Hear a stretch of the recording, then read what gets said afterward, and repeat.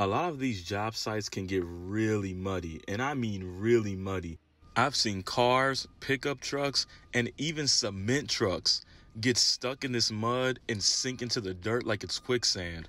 I have to be really careful with the Moffett sometimes because even though it's like a little tank, it can get stuck in the mud just like anything else. But for the most part, the Moffett performs very well in mud and dirt. I was actually surprised how well it actually performs even in the water. And of course, we're talking about a minimal amount of water it's more so suited for large puddles. I really enjoy that the Moffett keeps me out of the dirt and mud and it does all the dirty work for me. So here you see me giving it a quick little bath just to get all the caked up dirt and mud from underneath the tires because I was told that if you take care of your equipment, it will take care of you. Now she's clean and ready to go for the next delivery. Subscribe to the channel for more Moffett and trucking videos.